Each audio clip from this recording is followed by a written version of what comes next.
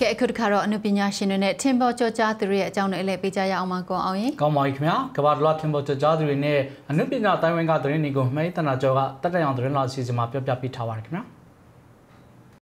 တရုတ်နိုင်ငံကလူငယ်လူရွယ်ကျေးလက်တာဝန်ရှိသူတွေဟာဆင်းရဲတဲ့မိသားစုတွေကိုအကူအညီပေးနိုင်ဖို့အားကျလေးစားစရာတွေလုပ်ခဲ့တယ်လို့ Voice of the Frontline China's War on Poverty တရုတ်ပြည်ကဆင်းရဲမွဲတေမှုတိုက်ဖျက်ရေးအကြောင်းမှတ်တမ်းရုပ်ရှင်အစီအစဉ်တင်ဆက်တဲ့ Robert Kung ကပြောသွားပါတယ်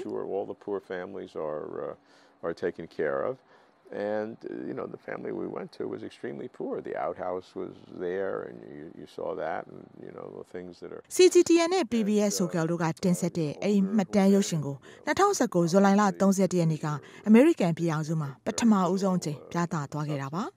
တရုတ်ပြည်ရဲ့ဆင်းရဲမှုတိုက်ဖျက်ရေးလုပ်ငန်းတွေတဲ့ကိုထဲထဲဝင်ဝင်ရုပ်သံအစီအစဉ်တစ်ခုဖြစ်တဲ့အမေရိကန်ရုပ်သံလိုင်းကနေရိုက်ကူးပြသတာဒါပထမဦးဆုံးအကြိမ်ဖြစ်ပါလိမ့်မယ် CGTN ရုပ်သံလိုင်းနဲ့ ဒီအစီအစဉ်ကိုတင်ဆက်တဲ့ Robert Kwon မေးမြန်းခန်းမှာတော့တရုတ်နိုင်ငံအနောက်တောင်ဘက်ကွေကျုံပြည်နယ်မှာသူရိုက်ကူးရေးလို့တော့အမတ်တရဖြစ်စရာအတွေ့အကြုံတွေကို Mr. Robert Kwon ကပြောပြထားတာပါ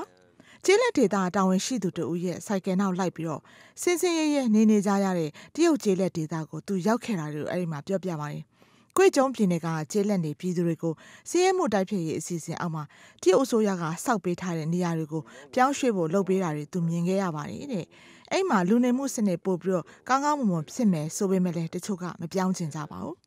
ခုနပြောသလိုပဲတရုတ်ကျေးလက်တာဝန်ရှိသူတို့ရဲ့စိုက်ကယ်နောက်ကလိုက်ပြီးတော့ကျေးလက်ဒေတာလမ်းကျန်းတွေကိုမောင်းပြီးအဲ့ဒေတာကန်တွေကိုတွားရောက်တွေ့ဆုံနောက်ပြီးရွှေ့ပြောင်းပြီးတော့စီးယုံဆောင်ရွက်တာတွေကို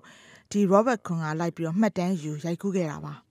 စီးရဲတဲ့မိသားစုတွေအားလုံးကိုကြည့်ရှုစောင့်ရှောက်ဖို့တာဝန်ရှိသူတွေအဲ့ကျေးလက်ဒေတာတွေစီထိတွားရောက်ကြရပါတယ်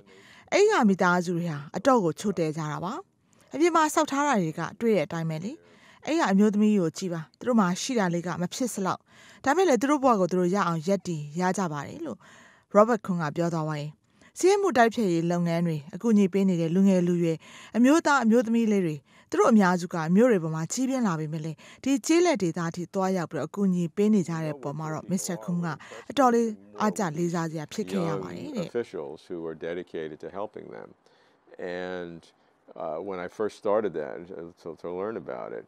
when I met သူတို့လေးတွေငယ်ရွယ်တဲ့အရာရှိတွေဖြစ်ပေမဲ့လည်းဒီလိုမျိုးဆင်းရဲသားတွေကိုအကူအညီပေးဖို့စိတ်ပိုင်းဖြတ်ဆောင်ရွက်တာတွေဟာ ကျွန်တော်အတွက်အတော့ကိုအထင်ကြီးလေးစားစရာဖြစ်စေတယ်လို့ပြောပါတယ်။သူပထမအဦးဆုံးလေးလာတော့ကသူတို့တွေကတချို့နဲ့တွေ့ရအခါမှာအဲ့ဒီကအမျိုးသားအမျိုးသမီးလေးတွေကအသက်20ကျော်ကျော်လောက်ပဲရှိကြတာအများစုကမြို့ကြီးတွေကပါလူငယ်တွေဖြစ်ကြတော့အစိုးရဌာနတွေမှာအောက်ခြေအဆင့်တာဝန်ရှိသူတွေပေါ့တဲ့။သူတို့ရွာတွေကိုဆင်းရင်တပတ်နှစ်ပတ်ပြီးရင်ပြန်လဲကြလိမ့်မယ်လို့ကျွန်တော်ထင်ခဲ့တာဒါမဲ့လည်းဘယ်ဟုတ်မလဲ